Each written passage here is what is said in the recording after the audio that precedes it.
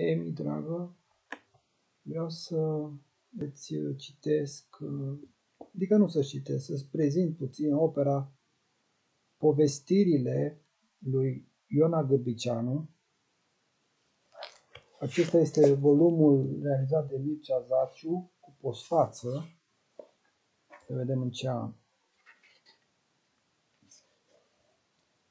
A apărut la Cluj-Napoca în 1981 la editura Dacia, care a fost desfințată în 2001, mi se pare.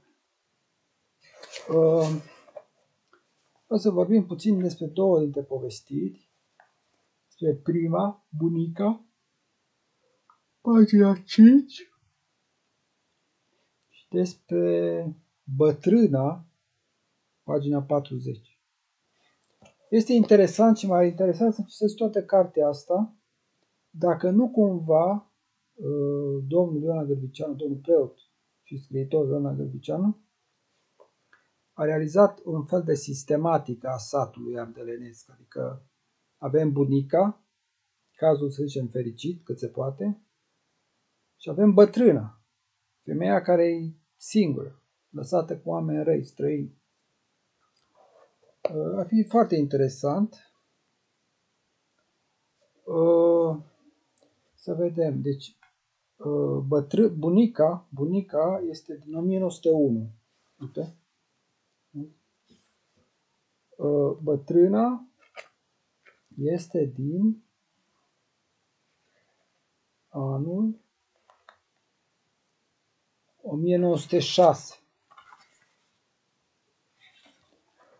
Uh, din punctul meu de vedere și probabil nu numai, Vârsta bătrâneții, maternității în viața satului este de importanță uh, crucială. Și aici sunt niște situații în care avem o bunică care vine de la pădure și rămâne într-un sat, se mărită cu cel mai uh, frumos om din sat și face casă și nepoți și astea după aia rămâne cu nepotul, cu, îi rămâne cu copilul al mic și treburile astea, dar nu. Are problemele bătrâneții și lucrurile astea. Pe când bătrâna cealaltă este o bătrână care fiul ei fuge cu o altă femeie într-alt sat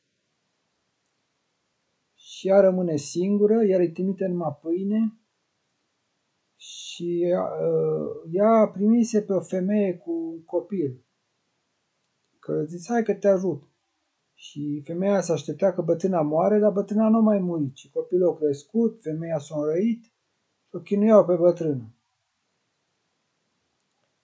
Și o vizitau, uh, o vizitau uh, oameni pe bătrână și aveau așa dialog Însă, ce am eu de spus din punct de vedere literar, critic, este că Iona Gărbicianu, care a fost foarte uh, desconsiderat, să zicem, prin anii 1990, sfârșitul anului 1990 la radio, de către, uh, de la 13-14 cu Andrei, de către Andrei Gheorghe,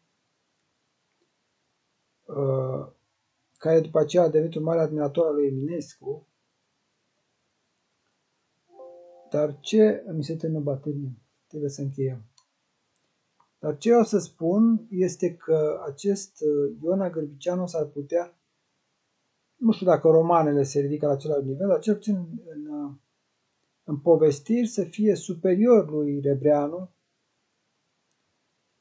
sau Hortensie Papada Bengescu, poate și altora, pentru că uh, Iona Gărbicianu cum scrie în postfață domnul Mircea Zaciu, uh,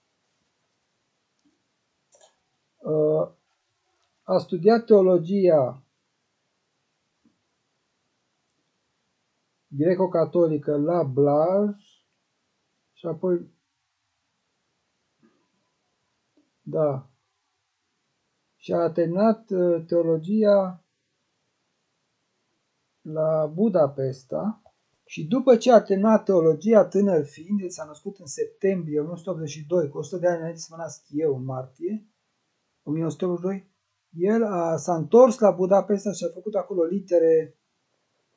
Hai să vedem ce a studiat el, dacă nu se teme bateria. Limbi clasice, istoria și româna. Deci a făcut limbile clasice, engleza și, mă scuz, uh, latina și greaca și istoria și română. Deci, uh, ce vreau eu să zic este că acest Iona Gârbicianu, ca să nu vorbim cu calculatorul, este că uh, el nu ia niște mode sau niște curente de la alți autori occidentali ca să prezinte, cum a făcut, de exemplu, Rebreanu în Ion sau chiar și Pădurea Spânzuraților, sau cum a făcut Camil Petrescu în ultima noapte de dragoste, întâia noapte de război, uh, nu știu, Patru Focus, n-am citit, dar vreau să zic că acesta Gârbician, efectiv, el uh, își face aggiornamento din lumea reală, din lumea Budapestei, care și-a făcut studiile și posibil în Ardealul ăla uh, Siebenburgen, să ce zic eu. Și nu numai.